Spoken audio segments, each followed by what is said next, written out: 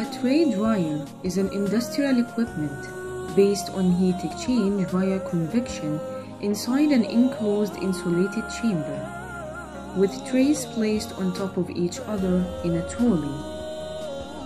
The dryers are used in industrial manufacturing processes, such as in the food products, pharmaceutical, dye and chemicals manufacturing, among others. The materials to be dried are either solid or wet and are placed on the trays.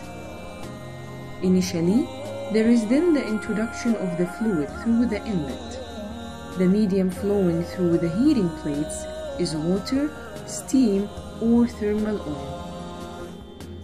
The heating through the trays is transferred via continuous flowing of a heated medium through the baffled heating plates to remove moisture from the solids that are placed in the tray by a forced convectional heating.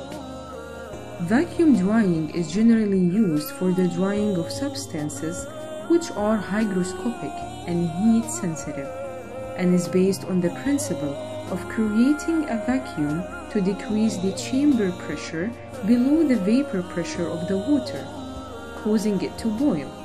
This decreases the boiling point of water inside the product and thereby increases the rate of evaporation significantly. The result is a significantly increased drying rate of the product.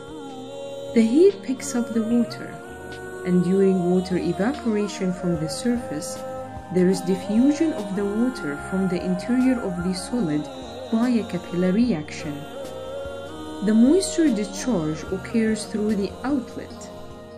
Therefore, uniform pressure and constant temperature over the solid material can be maintained for achieving uniform drying.